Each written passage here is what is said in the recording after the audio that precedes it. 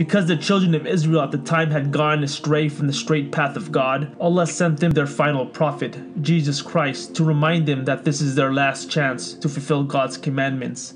When Jesus Christ continued to preach God's message, commanding them to do certain things and to avoid certain things, instead of believing him and following him, they got frustrated by him, turning their backs on him and rejecting him, plotting against him. According to the New Testament, a group of hypocritical and self serving men of the children of the Israelites began plotting against Prophet Jesus. They complained to the Roman authorities, who were pagan idol worshippers who had the political power at the time, this owing to the fact that the children of Israel were only a minority. The children of Israel complained that Prophet Jesus was preaching something new, and they provoked the Romans to rise against him, making the Roman governor believe that the call of Jesus conveyed direct threats against the Roman power. His own people claimed that Jesus Christ was an agitator speaking against the emperor, which was not true.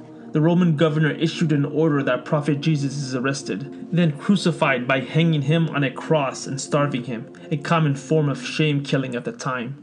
According to the Christian narrative, which Muslims do not believe, the Roman authorities found Jesus, arrested him, then put him on the Roman cross, where he died.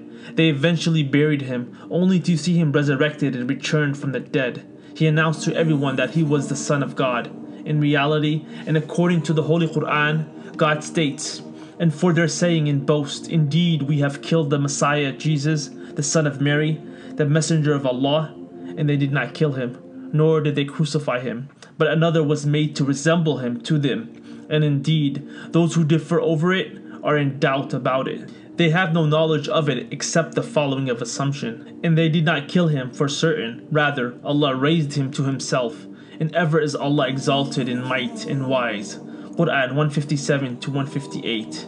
So, according to the Holy Quran, they neither killed nor crucified Prophet Jesus. Rather, God placed a resemblance of Prophet Jesus on another person to make him like Jesus Christ. The Christians were differing amongst themselves as to the truth of the matter, as they themselves were in doubt and have no certainty as to what really happened. In all actuality, God rescued his prophet by raising Prophet Jesus' soul and body up to himself.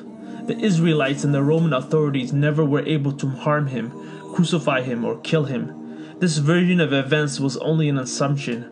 According to some Islamic scholars, God punished Judas the traitor by casting him in resemblance to Jesus, so they crucified him instead, assuming it was Prophet Jesus. According to the New Testament, Jesus Christ returned to his followers. Whereas Christians believe that he returned from the dead, Muslims believe that he never died.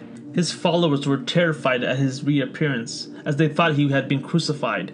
Then Prophet Jesus said, Look at my hands and my feet. It is I myself.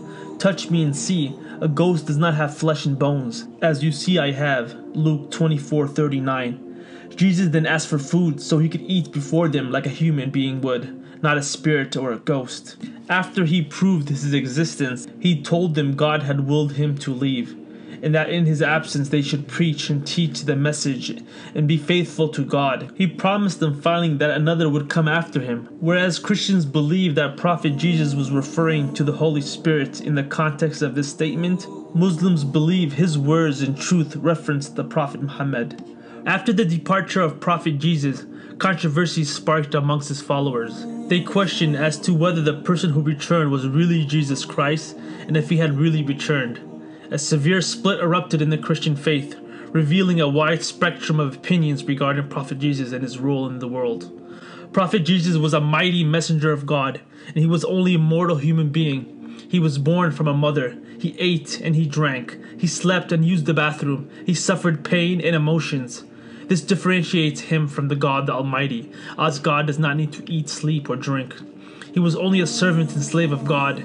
The idea of the Trinity, the Father, the Son, and the Holy Spirit, and the concept that Jesus died for our sins is firmly rejected in Islam. O people of the Scripture, do not commit excess in your religion or say about Allah except the truth.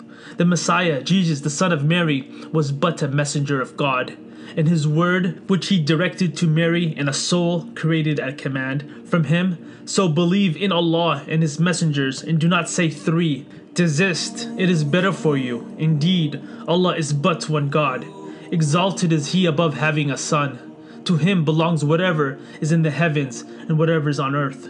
And sufficient is Allah as disposer of affairs.